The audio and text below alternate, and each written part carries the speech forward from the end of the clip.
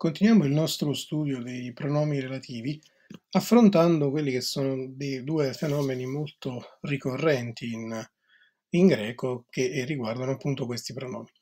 Il primo di questi è un fenomeno che va sotto il nome di nesso relativo. Cosa vuol dire nesso relativo? Nesso relativo o relativo apparente significa che eh, la lingua greca utilizza talvolta il pronome relativo a inizio frase con eh, uno specifico riferimento a qualche cosa che è stato già detto, o per meglio dire, utilizza il nesso relativo per esprimere un eh, legame con qualche cosa che è stato detto in precedenza. Il nesso relativo è l'unica situazione nella quale il pronome relativo in greco va eh, analizzato in quanto tale, ma va tradotto in italiano con un pronome dimostrativo, magari facendolo precedere da una congiunzione. Andiamo a guardare nella uh, frase che cosa significa tutto questo. Per Ierchetai, para ten emen oikian, en o Philippos e Gignosche. Come si vede, il periodo è composto da due frasi ben distinte dal punto in alto, quindi dal segno di interpunzione. Nella prima frase, per Ierchetai, diciamo che si potrebbe tradurre come un, un giunge, arriva vicino alla mia casa. Uh, nella seconda frase, il il pronome relativo en, accusativo femminile singolare, è privo di antecedente, inizia la frase. Se noi provassimo a tradurlo eh, così com'è, avremmo un la quale, accusativo femminile, femminile soprattutto, presumibilmente casa, la quale casa Filippo conosceva. È chiaro che noi in italiano non potremmo utilizzare mai un pronome relativo da solo in una frase senza alcun antecedente. Che cosa si fa in queste situazioni? Si deduce quell'en con un dimostrativo e questa casa Filippo conosceva. Cioè siamo di fronte ad una situazione nella quale eh, si parla anche di relativo apparente perché in buona sostanza la frase che noi stiamo traducendo finisce per essere in italiano una frase a sé stante, dunque non, eh, non è più una proposizione relativa. Anche in questo caso, osten aleteian legei Abbiamo un relativo a inizio frase, abbiamo una frase in cui attenzione c'è un unico verbo, per cui come si diceva eh, qualche istante fa, non siamo davanti ad una subordinata. Certo, in apparenza quella è una relativa, ma va tradotta come se fosse una proposizione autonoma, una, una principale. Osten alete, aleteia, aleteian legei, il quale dice la verità, cioè, e questo dice la verità. Il pronome relativo os, maschile singolare, lo traduciamo in italiano con questo e premettiamo a questo anche una congiunzione. Ora è chiaro che la congiunzione in italiano non dovrebbe cominciare il periodo, non iniziamo mai un periodo italiano con, con una E. Lo facciamo nelle traduzioni del nesso relativo proprio per esplicitare questo nesso, questo legame che c'è con qualche cosa che c'era prima.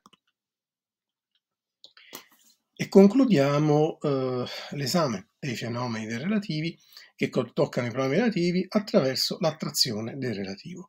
Cominciamo col dire che in greco esistono due tipi di attrazione, quella cosiddetta diretta e quella cosiddetta inversa. Che si intende per attrazione diretta? Si intende quel fenomeno per cui un relativo, che per sua funzione logica dovrebbe andare in un caso retto, per lo più un accusativo, viene attratto dall'antecedente a cui si riferisce in genitivo o dativo. Stiamo dunque parlando di una situazione sintattica nella quale troveremo un pronome relativo al genitivo o dativo, non riusciremo a spiegare questo genitivo e dativo sulla base dell'analisi logica, ma lo dovremo spiegare come attrazione dall'antecedente. L'antecedente che sta prima sarà in genitivo o dativo, attrarrà il relativo. Acuo ton logon on legei. Io ascolto le parole che egli dice. Logon è un genitivo giustificato sul piano sintattico perché logon è retto dal verbo acuo. I verbi di percezione in greco vanno sempre col genitivo.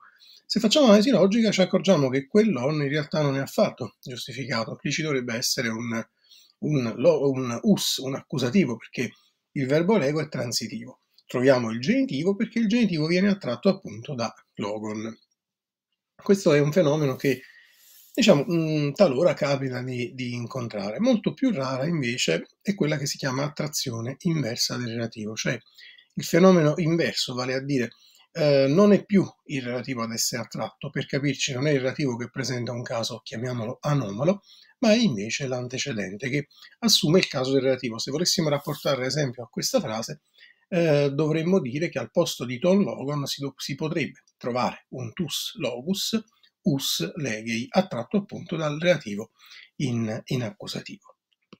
E concludiamo semplicemente eh, osservando ehm, che la lingua greca, a proposito dell'attrazione del eh, relativo, può combinare il fenomeno dell'attrazione del relativo con l'ellissi dell'antecedente, con la prolessi del relativo, con i due fenomeni insieme, prolessi e ellissi insieme, come nel terzo esempio.